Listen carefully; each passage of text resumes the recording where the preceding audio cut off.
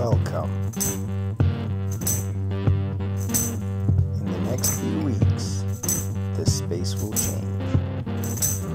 120 by 120 diffuser here. Shelves with interesting things for you to daydream at while I'm speaking.